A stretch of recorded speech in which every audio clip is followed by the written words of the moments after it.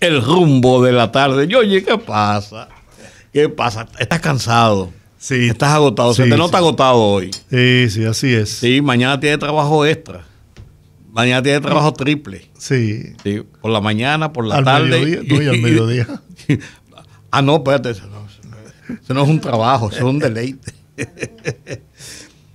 comentaba, comentaba en principio el tema de la, de, de la UAS. Yo ayer, ayer hablábamos de cómo la Federación, la Asociación de Empleados, de Trabajadores de la Universidad Autónoma de Santo Domingo están demandando en un momento de crisis económica y de crisis eh, em, sanitaria y social aumentos salariales. Todo el mundo, y yo lo decía ayer, tiene derecho a tener mejores expectativas, mejores perspectivas, mejores eh, remuneraciones por su trabajo y lógicamente las necesidades se van aumentando cada vez más. Todo eso es verdad, pero las circunstancias son las circunstancias. En, este es un momento donde, a mi entender, a mi entender, es abusivo paralizar la Universidad Autónoma de Santo Domingo, las partes que están operando de la universidad en medio de esta pandemia, por la exigencia de un aumento salarial. En un momento donde el gobierno central está tratando de solventar la falta de recursos que tienen casi un millón de trabajadores que están o suspendidos o despedidos o cesanteados o sin un futuro cierto de qué va a pasar con su medio de sustento. Pero más lejos aún, en un momento en el que el gobierno dominicano está teniendo la obligatoriedad de endeudar más el país para poder enfrentar la crisis económica. ¿sí? Sacar el dinero que debe, que debe, que debe destinar al cumplimiento de los servicios vitales básicos, en gran parte, de las obras que pudiera emprender cualquier gobierno. Yo no estoy hablando de que sea el gobierno del PRM o el gobierno de tal o cual. No, no, porque es no estamos, trata- hablando, estamos hablando del gobierno como institución para destinarlo precisamente a solventar esta situación. Yo creo que esa presión va más allá de eso.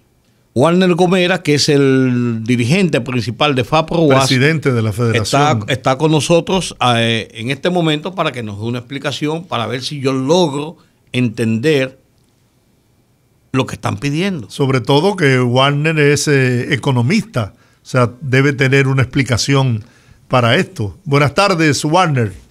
Muy buenas tardes, queridos amigos, mi admiración a ustedes. Eh, he escuchado su comentario, su interrogante. Eh, muy interesante el punto de vista. Yo quiero comenzar diciendo que el primero que ha reconocido la necesidad de la indexación salarial de ciertos sectores es el gobierno. En el día de ayer eh, llegaron a un acuerdo con los profesores de la educación preuniversitaria para eh, aumentar, ajustar su salario.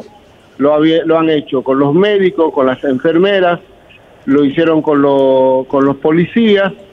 eh, y en realidad hay diferentes formas de reactivar eh, la economía en un momento de crisis.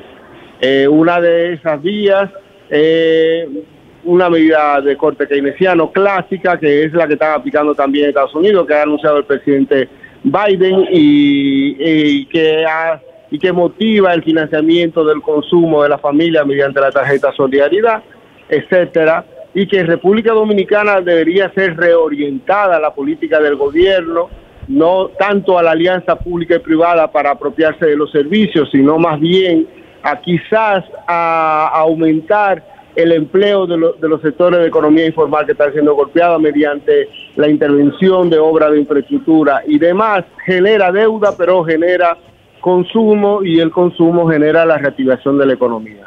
Nosotros tenemos una lucha de largo plazo. Lo que estamos pidiendo, queridos amigos, es sencillamente que nuestro tema sea puesto en agenda, como se han puesto otros, eh, otros, otros sectores, otras actividades. Los profesores de la universidad, en particular los profesores jubilados de la universidad, en este momento de recrudecimiento de la pandemia, de las condiciones de las condiciones económicas, de la necesidad de, de, supervivencia. Nosotros tenemos profesores que ganan menos de 20 mil pesos, jubilados, profesores, 348 profesores que están por debajo de, lo, de los 20 mil pesos, que sencillamente no le alcanza para cubrir el costo de la, de la receta. En una población de adultos eh, mayores, gente que dieron su vida por, por la, por, por, la universidad, por la formación de ustedes, por la academia, y nosotros estamos planteando que se vea el tema para establecer un salario base para esos, esos maestros. Eso es muy poco dinero. Más, un volumen mayor es indexar el salario de los maestros a 40%. Nosotros hemos planteado 40% porque esa es la pérdida. Que, que nosotros en el 2003, para que ustedes tengan una idea, y aquí hablar de crisis en un país en, en, maldad como este es difícil, pero, pero es, la real, es nuestra realidad. En el 2000, en el 2003, un cualquier profesor de la UAS ganaba 3 mil dólares, que eran 48, 54 mil pesos. Pero hoy día el salario promedio de los profesores de la UAS no llega a 7 mil, a mil, a 1100 dólares. Y para que, y, sobre todo, tenemos un, el 60% de la población de los profesores de la UAS recibe en su, flujo de caja eh, lo que recibe el neto como pago después de todas las deducciones no llega a los 50 mil pesos. Esa es la realidad. Y en esa realidad, para mantener la calidad de la docencia, eh, no digo, no, no decimos que nos digan que mañana nos van a dar 40%, pero este tema hay que ponerlo en la agenda. Pero cuando y hemos intentado desde septiembre eh, recibir una respuesta del gobierno, el gobierno ha estado ha dado muestra de apoyar a la universidad y hemos puesto este tema para que nos escuchen. Si el gobierno nos propone una, una ruta para ver nuestra situación laboral, obviamente que nosotros seguiremos como está, hemos estado. Hemos sido los profesores, a, nuestra propio, a nuestro propio bolsillo, esfuerzo y agalla que sacamos a más de 200 mil estudiantes a flote en el primer semestre que se presentó la crisis en el pasado también, y que ahora estamos listos que hemos preparado nuestro contenido, que estamos preparados para iniciar, pero le hemos dicho a las autoridades, sentémonos. Y déjeme decirle, perdone que me extienda, también estamos planteando, y no es negociable eh, eh, ese punto, porque debe ser resuelto ya, que los estudiantes sean dotados de conectividad, porque no pueden hacerlo solo. No pueden cubrir el costo de la conectividad para, para mantenerse en las aulas, por eso la decepción. Bien. Mira, eh, nosotros hemos sido defensores a rajatabla de la Universidad Autónoma de Santo Domingo. El, discurso que hemos mantenido siempre es de apoyo en todos los aspectos a que se contribuya al fortalecimiento de la primera casa de estudio de nuestro país. Pero yo tengo entendido, y me puedes eh, corregir si estoy en, no estoy en lo cierto, de que son los profesores de la UAS los que mejores salarios tienen de todas las universidades, incluyendo las privadas. el, profesor, Antonio Siriaco lo decía en, una, un estudio que, hicimos que ese es, es un mito. en términos en términos relativos, porque en la universidad privada no hay ningún profesor a, a 40 créditos, que son 60 y 70 horas semanales.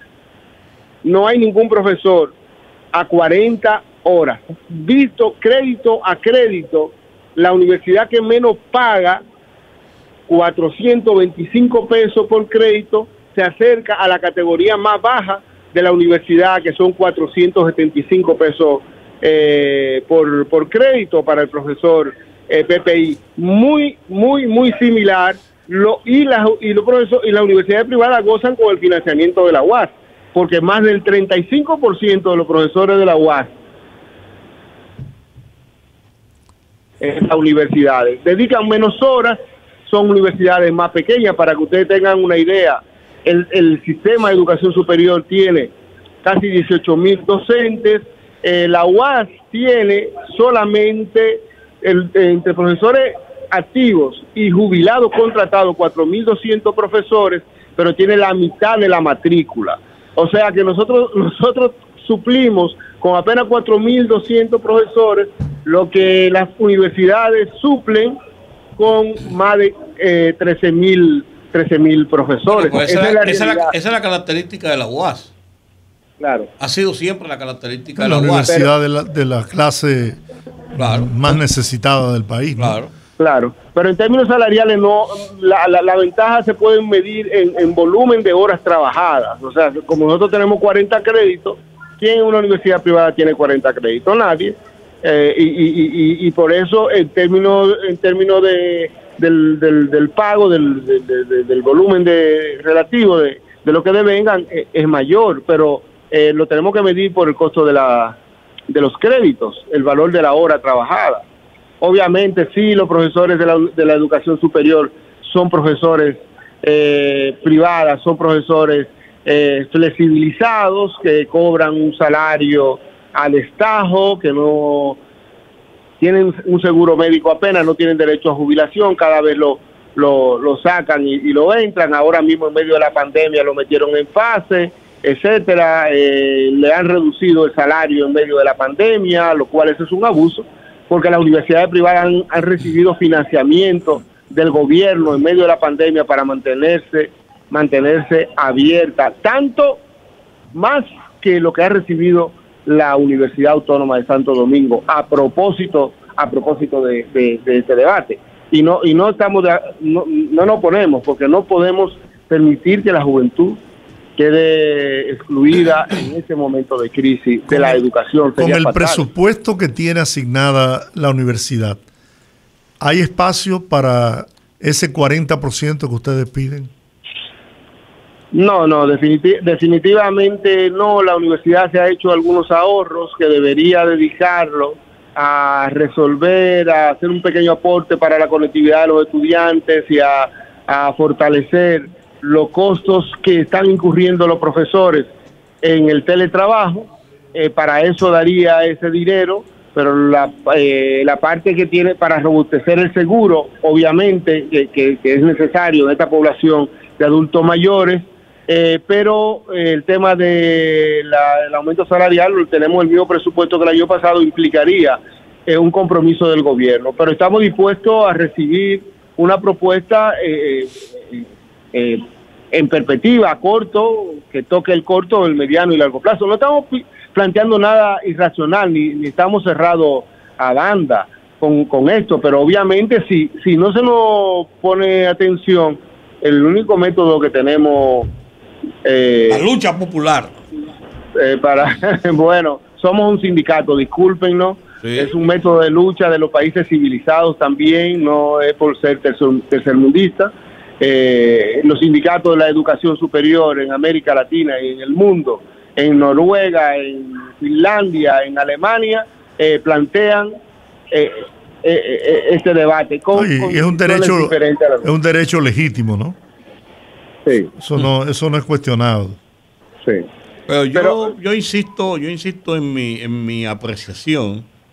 Tú tienes tu apreciación como gremialista, como, como doliente de la causa que tú que tú defiendes. Yo tengo mi apreciación eh, desde mi, óptica de ciudadano de que este momento es muy difícil y muy insensato para llevar acciones eh, rígidas, ríspidas en, demanda de aumento salarial, que no digo que lo merezca.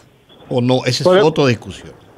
Podemos ser flexibles y podemos plantear que de ese 40% se contemple una, una porción, que el gobierno haga una propuesta, pero sobre todo que diga, eh, vamos a verlo, porque ya lo hizo con los profesores de la educación preuniversitaria, que por cierto, a hoy día, y escuchen esto, hoy día cualquier profesor de educación preuniversitaria supera el salario del profesor de menor categoría de la Universidad Autónoma de Santo Domingo a trabajando 30 horas mientras el profesor de la UAS tendría que trabajar para igual salario. Si es de ciencias básicas, 60 horas eh, y hasta 65 a la semana.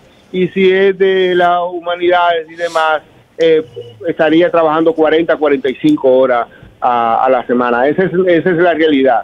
Y, el, gobierno eh, pactó con la ADP y ver la situación salarial con los recursos que están destinados para el 4% de la educación. Es un problema ¿Cuánto el presupuesto de este año? Un, espacio, el, el, de la UAS, ¿no? El, el, presupuesto del año de este año son 9.200 millones de pesos, que es el presupuesto que teníamos el año pasado. El mismo presupuesto.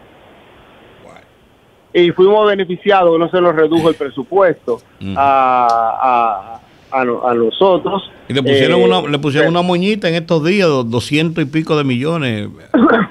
Gracias a ese, gracias a ese 234.5 millones de pesos, la universidad pudo eh, acoplar su, su, su, su, su, herramienta tecnológica para responder a la, a la virtualidad y tiene pendiente la rectora y la universidad presentar un informe de los laboratorios de simulación que, y las salas digitales que se pudieron instalar para ganar transparencia ¿no? Eh, con, con esos recursos, pero fueron dinero destinado peso a peso a proyectos específicos en laboratorio de, de, biología, de ciencias de la salud, de ciencias eh, económicas, de negocios, etcétera. ¿Y qué dice la rectora de esa demanda de ustedes, Warner? Bueno, eh, la rectora ha dicho que la reconoce, pero que ella no tiene posibilidad de, de responderla. O sea, se lava, se, lava, se lava las manos. Eh, yo, nosotros queremos que lo diga públicamente y le pedimos hoy al ministro de, Educación Superior que nos recibió y nos prometió que le iba a transmitir esta tarde al presidente nuestra demanda y le pedimos a él, sentémonos los tres y veamos esto, nosotros no queremos ser eh, irracional y plantearlo eh, que, que, entre el mar necesariamente, pero sí queremos un compromiso eh, del gobierno, que es ponerlo en la agenda como ha puesto a los demás no, pero reconociendo. Y hay y hay dos elementos pero Warner pero Warner tú me estás diciendo tú me estás diciendo que, que no es radical la posición y están hablando de que van a paralizar van a hacer huelga van a hacer cosas si no le cumplen. Entonces sí es radical la posición. Es radical sí. El día 8 eh, pero una posición radical es cuando yo te digo si tú no me das 40 no eh, no hay negociación. Ah, la flexibilidad en el monto. Hazme una, propuesta, hazme una propuesta y tú me puedes pasar una propuesta de tiempo también, pero hazme una propuesta. Entonces es una posición bien, bien flexible. Una espada de Damocles. Bien flexible. O me dice algo, o me da algo, o, te paro la UAS. ¿Y cómo se libran las luchas? No, no, no, no podemos, no tenemos otra otra vía para, para hacerlo. Y este es el momento, este es el momento apropiado para eso. Eh, no, no es el momento apropiado, es el que no ha tocado, querido Juan TH. No pero puede, como puede, esperar un momento, digamos seis meses, cuando la economía se restablezca. Eh, digo yo, no pero, sé. Pero yo no sé, yo lo que pasa es que como el gobierno me dijo ahora en este momento a los profesores preuniversitarios, a los médicos, a los policías, eh, por lo menos la situación nosotros estamos pero la situación es distinta. Los médicos se están enfrentando a una pandemia eh, y corriendo riesgo su propia vida. Ya muchos han muerto, se han contagiado, etcétera. Son la vanguardia en esta lucha contra una pandemia. Esa, es la mejor decisión que ha adoptado el gobierno. Entonces, eh, entonces este la, la Universidad del Estado, justamente del Estado, esté exigiendo un aumento de un, no de un 10, y, los profesores de, un 40%, en estos momentos me parece, cuando incluso el gobierno, el año pasado, este gobierno le entregó a la universidad 200 y tantos millones de pesos para, para, para cubrir el déficit que venía arrastrando. Sí, sí. Sí, eso es producto de 10 y más años de abandono total del pasado gobierno que hundió a la universidad en esta crisis, pero... Ustedes no, hicieron, no tumbaron el gobierno, debieron tumbarlo el gobierno pasado. Sí, lo tumbamos, acuérdense que hubo elecciones recientemente. ¿Ustedes tumbaron el gobierno pasado? Pero recuerden que hubo elecciones recientemente. Sí, pero ustedes lo tumbaron. Bueno, como parte de Contribuyeron, por lo menos. Sí, pero, pero querido Juan TH, yo, yo lo que ponte en la posición nuestra si se les reconoce a los yo siempre, yo siempre he estado, yo siempre he estado de acuerdo con la lucha en la universidad. E incluso, más aún, yo tengo una posición distinta ahora con relación a la UAS. Eh, creo que le sale demasiado caro al Estado. Peso a peso no, podemos ver los números. Sí. Peso a peso no. A 630 millones en hacer una extensión para reducir la presión sobre la, sobre la, la, casa matriz. ¿Es una inversión para la? Mira, nosotros tenemos centros regionales en todo. Imagínate lo que le costaría, costaría a la familia si el centro de Barahona, UAS Barahona, no estuviera allí. No es el mismo periodo en que usted estudió aquí en Santo Domingo, donde la base material de la familia permitía enviar el muchacho donde un tío, donde un primo, donde un yo, compadre. Cuando yo estudié, tú no, tú no habías nacido todavía. No, en, no en, el, yo entré a la universidad en el 68. Sí. Tú no habías nacido todavía. Y yo en, la lucha, yo en el 66. Imagínate, en la lucha del medio millón entre ellos. Que eran 600, eh, lo que pedían 500 mil pesos mensuales para UAS. Medio millón. Para, la, universidad. Y para los presos, pedimos libertad. San Francisco de Macorís estaba yo. Ay, ay, ay. Imagínate. está bien, gracias, profesor. Así, conozco de lo que te estoy hablando. Vamos a esperar, vamos a ver qué ocurre. Un, honor hablar con ustedes. Muchas gracias. gracias, profesor. gracias, Warner. Gracias, Warner, pero no estoy de acuerdo contigo. Esa es la democracia. Claro. De la democracia. El derecho a disentir, ¿no? Claro, claro, claro. Si todos estuviéramos de acuerdo, el mundo fuera muy aburrido. Sí, señor. Señor. No está de acuerdo con la, con la mujer de uno, imagínense ustedes. Y con, los, y con los hijos. Yo no voy a llegar tan lejos, yo no voy a hacer eh, juicio de opinión. ¿Eh? Yo, no, yo no, yo no voy a llegar tan lejos, yo quiero comer en mi casa. yo no estoy hablando de eso. Yo quiero cenar. Yo no estoy hablando de eso. Oh. No. Estás hablando de otra cosa.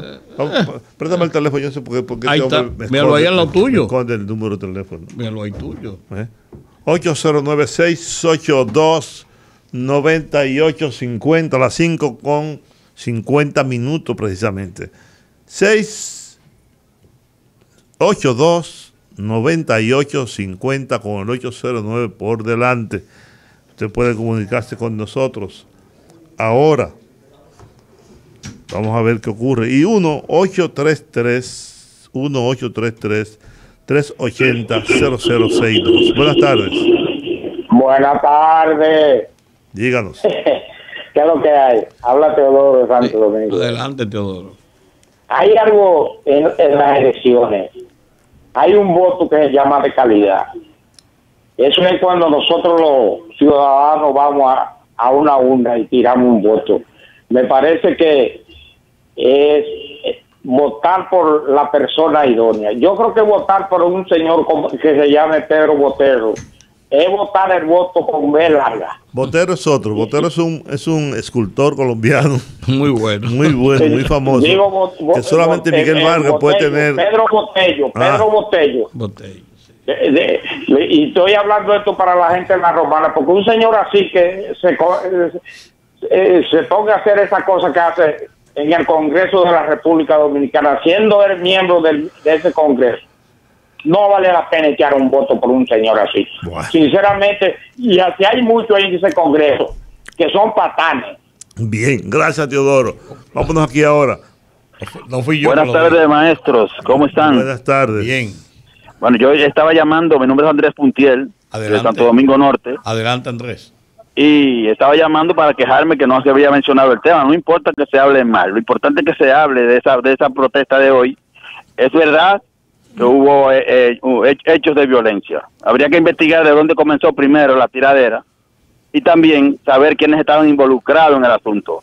Pero Pedro Botello está bien y el pueblo está bien porque él está reclamando lo que el pueblo lo que el pueblo necesita, lo que se le ha negado por derecho al pueblo.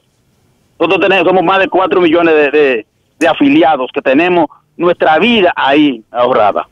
Y estamos mucha gente sin empleo, otros no tenemos recursos para pagar las deudas y los alquileres. Mientras, mientras todos los medios eh, no, nos atacan, nos apabullan, gracias a Dios que hay mucha gente que, que, no, que nos defiende, gente que todavía le pesa el ruido de los pantalones, pero queremos saber que, el pueblo sepa que somos más de cuatro millones de, de afiliados, que necesitamos ese dinero, porque estamos en la inospia, para no decir en otra cosa. Muchas gracias, maestros para todos. A mí, personalmente, a mí me gusta la idea. No, está bien. Yo estoy de acuerdo. Buenas tardes. Buenas tardes, Juan. Yo Ahora, sin, sin, llegar a extremos. Ramón Fonder de este lado. Fonder. ¿Cómo están ustedes? Bien. Qué bueno. Miren, eh, ayer pasó un hecho que ha pasado un poco desapercibido por los medios de comunicación y es que cuatro jueces, cuatro ex jueces del Tribunal Constitucional hicieron una rueda de prensa. ¿Cómo desapercibido? Si nosotros incluso entrevistamos aquí a Jotin Curi. Sí, sí, sí. No digo que ha pasado desapercibido en la mayoría de los medios, que quiero decir, y en la opinión general. Algunos medios lo han, lo han resaltado. Pero ese es un hecho muy trascendental lo que denunciaron esos jueces o esos ex jueces. Se trata, señores, de una violación a la soberanía nacional y se trata inclusive de que si los miembros del Tribunal Constitucional actuales, los que quedaron en los cuatro que subieron, aprueban ese pacto que se está planteando ahí, ellos pudieran ser objeto de, sometimiento los propios jueces por haber violado ellos mismos su propia constitución que ellos están hechos para, para defender. Entonces estamos hablando de, de algo muy serio y que la gente debe de tener tomar muy en cuenta de que Estados Unidos lo que quiere es prácticamente tener un territorio norteamericano aquí en República Dominicana fuera de su embajada, porque las embajadas son territorios de los países naturalmente donde de donde están, pero ese pacto como está planteado que inhibe totalmente y le da una inmunidad total a los agentes norteamericanos y que pretenden montar una aduana norteamericana, una migración norteamericana, una policía aquí para hacer lo que quiera, y que esos policías puedan matar a un agente, cometer un crimen y no se le pueda juzgar aquí ni se le pueda acusar, eso es algo muy serio porque ellos no permiten que en territorio de ellos nadie haga eso. Entonces vamos a abrir los ojos, los agentes. No, están así. Sí, eso es así, sí. Sí, sí, Rudy, eso es así. Eso es así. Y si usted quiere, búsquese el proyecto en su, en su totalidad para que usted vea qué es lo que está planteado ahí. Es una inmunidad y una impunidad total para los agentes norteamericanos y para actuar aquí con una migración en cada aeropuerto, comenzando por el aeropuerto de los Rainieri en Punta Cana. pero después se extiende a todos los aeropuertos. Yo escribí, Ajá. solo falta que el grupo Rainieri declare la independencia de Punta Cana, colonia de Estados Unidos. Con himno, escudo y bandera. El prechequeo que pretende establecer en el aeropuerto lesiona la soberanía nacional, como dicen cuatro ex jueces del Tribunal Constitucional. Eso es correcto. Yo, mi, mi, mi, mi, mi, oposición total e incondicional a ese apoyo y a ese pacto. Bien, gracias. Gracias, Fonder. Gracias. Y a Rudy le escribí lo siguiente. Los periódicos impresos parecen estar en una crisis insalvable. La gente ha dejado de comprarlos. Las tiradas cada día son menores. Apenas llega a las oficinas públicas y sectores minoritarios de la sociedad. Desaparecerán con el tiempo cediendo ante los digitales, Rudy González. Buenas tardes. yo no creo. Pero de que van disminuyendo, lo que pasa es que los periódicos, perdón, los periódicos impresos han hecho una, una muy buena acción y es tener digitales de primera línea también. Sí, por, eso, por eso, Entonces los impresos le van siguiendo paso a los digitales. Sí, sí. Porque, por ejemplo, el Nacional de ahora, ¿no? Es un periódico que cada vez tiene menos vigencia. El, el Caribe y otros diarios de aquí están imprimiendo 1.500, 2.000 periódicos, nada más. Hay gente que lo lee más en, lo, en su casa a través de, del teléfono celular o a través de, de su PC que los, que los impresos. Yo no sé si te llegan los periódicos. A mí me llega allá al edificio. Yo hace tiempo que no leo periódicos impresos, lo leo por el digital. Exacto. Y así como tú lo que haces. No, que, no tenía la, que no tenía la costumbre. Claro. Ya yo todo lo veo en digital. Buenas tardes. Buenas tardes. Sí. primero quiero decirle, bueno, yo estoy escuchando el programa porque mi mamá siempre lo pone y a veces llego del trabajo y siempre lo tiene puesto. Y, me dice que le mando un saludo a ambos. ¿Y cómo Jacqueline Valles. Jacqueline Valle. sí, le mando saludo a ambos, en especial a TH, dice ella. Claro que, sí, no gracias. otro. sí, y bueno, estoy llamando porque quiero comentar en cuanto a la entrevista que estuve escuchando. Sí. Del paro de profesores en la UAS. Yo soy estudiante de la UAS. Ok, ¿qué estudias tú? ¿Qué estudias?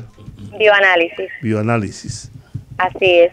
Y yo realmente entiendo la lucha de los maestros, así como decía usted, DH, pero yo entiendo que se puede hacer una lucha de manera justa, que nosotros los estudiantes no tengamos que pagar las consecuencias de lo que están pidiendo los profesores. Porque él dice que él espera que atiendan ese llamado para que nosotros los estudiantes no tengamos que sufrir nuestra falta de clases, pero eso está en las manos de ellos. Entonces yo creo que uno puede solicitar y pedir lo que uno quiere, exigir en el caso de ellos, pero no tiene que hacer que los estudiantes, que somos realmente los vulnerables en esa situación, tengamos que pagar por eso. Así es, tiene usted toda razón. Totalmente de acuerdo. Es lo que ocurre. Pero esos mismos profesores, yo quisiera que se levantaran en armas en las universidades privadas donde ellos también imparten docencia. Sí, también quisiera agregar algo último para terminar. Que él estuvo haciendo la comparación, a mi parecer, muy injusta que a los médicos se le ha aumentado el salario. Yo creo que considerando la situación actual con la pandemia del COVID-19, jamás se puede comparar el hecho de que se le haya aumentado a los médicos y a los profesores. No, porque yo entiendo que la labor que está haciendo el, el personal de salud ha sido totalmente inhumano. O sea, han estado trabajando en condiciones que no son las adecuadas y están haciendo un trabajo sumamente más forzoso que el de los profesores que están en sus casas hasta esta fecha que no han comenzado las clases. Así es. Tiene toda la razón. Tiene razón. Claro que sí. Gracias. Gracias. Y un saludo a su madre. su madre. Sí, señor. Que siga con, que, Abreu. Sí, que siga con nosotros, ya que Esta es la otra Yaque. Miren. Vamos aquí entonces. Se cortó aquí, aquí, tenemos que ir a la pausa. Tenemos que ir, pero antes de ir. Sí, antes. Buenas tardes. Buenas tardes. ¿Qué dicen esos poderosos? Aquí estamos. Georgie, Juan. Sí, señor. Oye, es Ferrera de Gualey que llama. Ferrera, ¿cómo estás? Adelante, Ferrera. Esta, esta, mañana fui víctima, me malograron un brazo.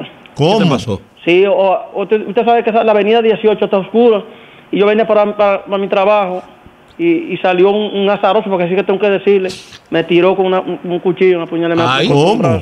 Sí. ¿De verdad? Claro, ya, y eso, eh, yo tengo más de un año anunciando alumbrada de, de, de, esa, de esa avenida. ¿Y te hirió, te hirió muy serio? No me hirió tan cosa, me dieron ahí unos cuantos puntos ahí, pero nada.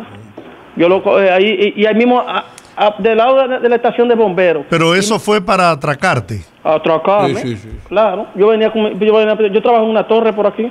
Wow. Por aquí por Serrayé yo trabajo en una torre. Y, bueno. y, y ahí mismo había un viaje de policía al lado de la estación, eh, ahí mismo al lado de, la parada Eduardo Brito. Y, y, después que, pasa el caso que, y que me ven con la sangre y me dice, ¿y qué fue lo que te pasó? Digo, que me caí. Digo, ustedes están viendo lo que me está pasando, ¿por qué ustedes me paran? Queriéndome investigar. Digo, no me investiguen. Oye, mi trabajo. increíble. Claro, porque ellos lo que están parando son todos infelices que vienen de, de, por allá de, de, los minas, que van para el mercado con unos cerones, unos motores para pa, su trabajo a ellos. Atención, atención a la Policía Nacional atención a la Policía Nacional. Hay que poner, hay que incrementar el sistema de vigilancia en el país.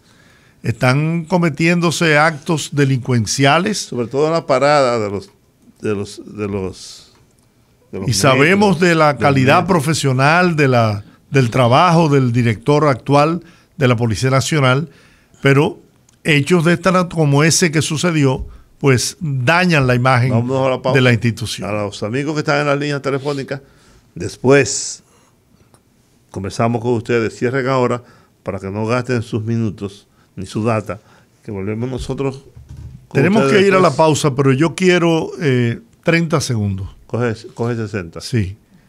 Anoche eh, falleció un gran amigo de todos, Hugo Veras Goico hermano, el hermano menor de la familia. Lo dijo, lo dijo Rudy. Sí. Entonces, eh, yo tenía una muy buena relación de amistad con Hugo, con todos, con Freddy, excelente relación, con Tutín, eh, con el doctor también.